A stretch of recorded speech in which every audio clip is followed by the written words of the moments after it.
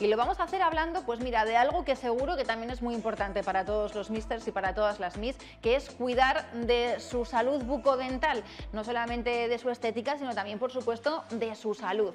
Y hoy vamos a hablar de esa edad en la que es tan importante comenzar a cuidar o sobre todo comenzar con los buenos hábitos eh, y esas rutinas de higiene y de limpieza. Hablamos de los más pequeños de la casa y de la importancia que tiene que utilicen los productos adecuados también a su edad, tanto el cepillo de dientes como la pasta de dientes que sea específica para ellos, cuando son muy chiquititos, que bueno, cuando hay que empezar a cepillar los dientes. Bueno, pues todas estas cosas y todas esas dudas que pueden surgir, eh, hoy nos vamos a acercar hasta nuestra clínica dental de referencia porque nos acercamos hasta Rodrigo Aguilera, hasta la clínica dental, precisamente para conocer muchísimo más sobre todos esos detalles, todos esos trucos y todos esos consejos para que los más pequeños de la casa no le cojan miedo, por un lado, a esto de ir al dentista y por otro lado, cojan esos buenos hábitos para que desde pequeños nos cuidemos y tengamos una buena salud bucodental.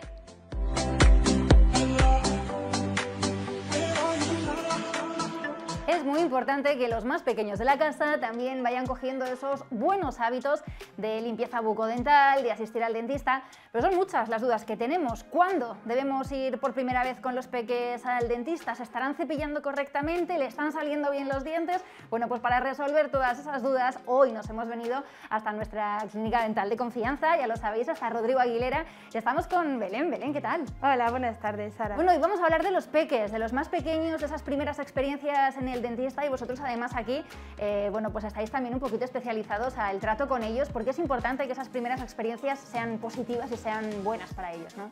Eso es, sí, afortunadamente cada vez vemos más en la clínica eh, niños que se da cada vez más, eh, más importancia a la prevención, a estar informados y no solamente que, lleguen ya a las edades en las que hay que tratar, sino muchas veces cuándo es la edad, cuándo hay que empezar a, a traer a los niños. Bueno, pues realmente cuanto más pequeñitos vengan, mejor. Ya con la salida del primer dientecito, muy, muy de bebés, quizás ya no solo para, para ver si, tienen alguna patología, que a veces también no las podemos encontrar ya de, con dientecitos de leche en bebés, es raro, pero puede ser pero ya no solo por eso, sino para motivar y que los niños bueno, vean la figura del dentista y de la clínica dental como una, una, experiencia positiva como algo cercano. Eh, y algo familiar, eso es de cercano, que no cojan miedos porque eh, eh, vemos frecuentemente la generación de, bueno, ya más mayores que nosotros, eh, de, gente mayor que ha tenido mucha fobia al dentista, bueno, pues porque antes era, era, diferente, el trato. Entonces eso es lo que queremos evitar y en lo que tenemos que trabajar mucho los dentistas, en, que, en la prevención, en informar, en concienciar a los padres también. Tenemos que informar mucho a los padres porque hay mucho desconocimiento entonces insistimos mucho con ellos los niños. Bueno, ahora vamos a hablar un poco de la metodología que tenéis con ellos, pero además hay productos específicos para los peques y para las pequeñas, ¿no? Es importante que el cepillo sea para niños, que la pasta de dientes tenga unos componentes especiales, cuéntanos. Sí, bueno, eh, en general cuando el niño eh, es un bebé todavía y le están empezando a salir los dientecitos, ya ahí tendríamos que empezar a, limpiar los dientes. Todavía no con un cepillo, con un cepillo dental, pero eh, en las farmacias existen, se puede pedir lo que se llama un dedal, un dedal con unas cerdas de silicona que ayudan bueno, a los papás a ir limpiando los dientecitos. Eh, ya cuando el niño es un poquito mayor, lo ideal, esto es lo que sería bueno, pues un cepillo adulto y a diferencia necesitaríamos un cepillo eh, infantil. Lo ideal es que sea bueno, redondito, el mango, dependiendo de cada edad, eh, vamos a necesitar diferentes tamaños. En la farmacia nos van a orientar perfectamente. Eh, el mango que sea chiquitín para que sea muy ergonómico y cómodo para el niño, aunque lo ideal es que hasta la edad de los 8 años por lo menos los padres eh, ayuden, limpien y supervisen el cepillado dental de los niños. Las cerdas, al igual que en los adultos, ha de ser suave o de dureza media, nunca fuerte. ¿Y cuánta pasta de dientes y cómo es la pasta de dientes que se ha de utilizar? Bueno, la pasta de dientes siempre, al igual que los adultos, vamos a recomendar que lleve flúor, porque igual, insistimos, eh, si no queremos utilizar flúor, entonces la dieta debería ser libre de azúcares totalmente.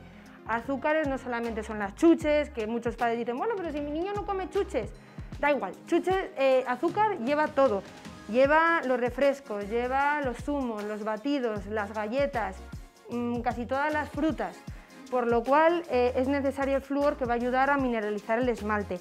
Dependiendo de la edad del niño, eh, hay unas pastas, em, las pastas dentales tienen una cantidad, una proporción de flúor eh, de menor a mayor que siempre está guiada por la Organización Mundial de la Salud, o sea, todas están reguladas. Eh, por ejemplo, bueno, pues nos podemos encontrar diferentes pastas de dientes en función de, la edad, entre 1.000 1.450 partes por millón en cuanto a flúor, tanto en pastas de dientes como en colutorios. Hay muchas marcas, eh, en la farmacia nos van a orientar siempre bien. ¿Cuánta cantidad de pasta es necesaria utilizar? Porque a los padres también les agobia mucho la idea de pensar que el niño todavía no, no controla bien el escupir, eh, la, saliva, la pasta de dientes y que se lo puedan tragar y eso sea eh, perjudicial para ellos.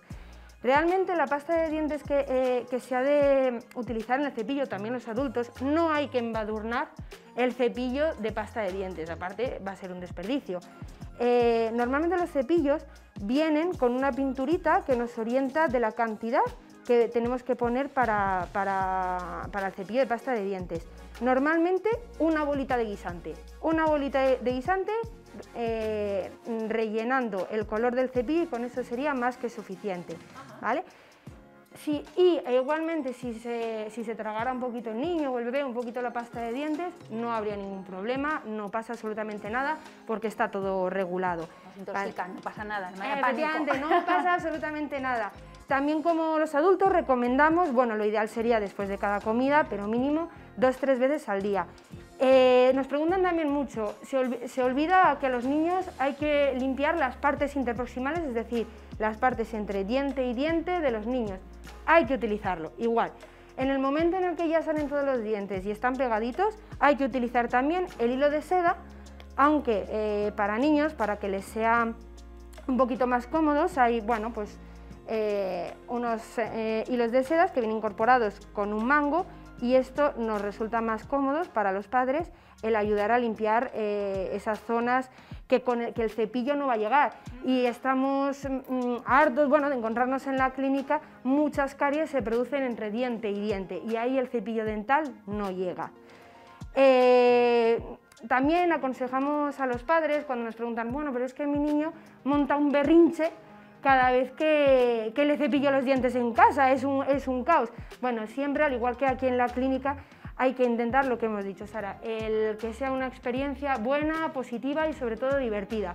En casa no importa tanto el, el eh, eh, dónde hago el cepillado, no tiene por qué ser en el baño, es decir, hasta jugando en el salón, sentados, acostados, encima mío. Lo importante es que el niño, aunque llore, porque el niño va a llorar, siempre, hasta para atarle la coleta a la niña va a llorar porque sí, y no por eso tenemos que dejar de hacerlo. Es decir, eso es algo que hay que hacer al niño, no es una opción, el cepillar de los dientes a los niños. Hay que hacerlo porque es bueno para él. Entonces, poco a poco van incorporando ese hábito. También es muy importante el ejemplo, si ven a los padres el cepillado, eh, si se hace en conjunto los padres con el niño, va a ser mucho más motivador. Al igual que aquí en la clínica, cuando hacemos las revisiones a los niños, ¿verdad?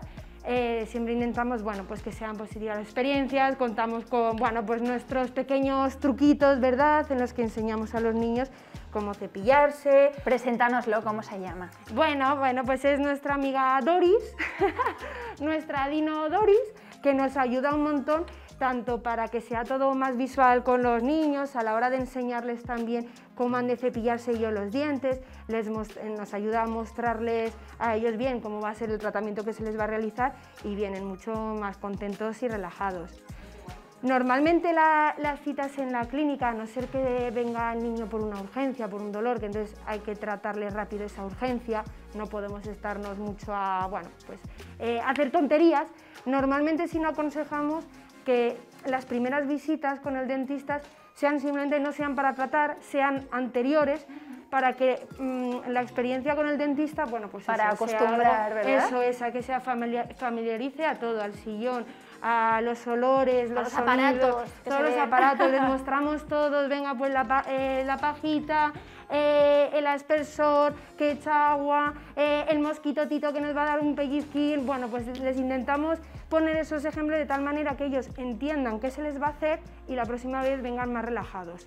bueno, pues yo creo que ha quedado claro lo primero, qué es ese trabajo o cuál es ese trabajo previo que tenemos que hacer en casa con los peques y en segundo lugar, que cuanto antes empiecen a venir al dentista, muchísimo mejor para los padres y también para ellos, ¿no? Para que cualquier cosa se pueda detectar desde el primer momento y que, bueno, pues luego no nos encontremos con esas patologías más graves a medida que se van haciendo mayor. Así que además me encanta que, bueno, pues de una manera súper gráfica y súper divertida les enseñéis ese tipo de cosas para que hagan su experiencia mucho mejor que la que tuvimos a lo mejor pues la gente de nuestra generación cuando éramos pequeñitos en el dentista. Así que Doris nos va a decir adiós y va a despedir este reportaje. Muchísimas gracias, como siempre, Belén. A vosotros, chicos. Adiós, nos vemos en la próxima.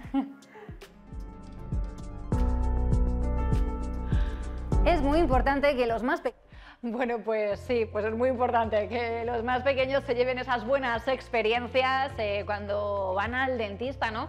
Que no le cojan ese miedo, que no se vaya solamente cuando, oye, pues ya hay a lo mejor un problema y la importancia que tiene el desde muy pequeñitos estar pendientes de cómo están saliendo esos dientes, de los problemas que puedan surgir para que luego no haya complicaciones pues mucho peores cuando somos más mayores.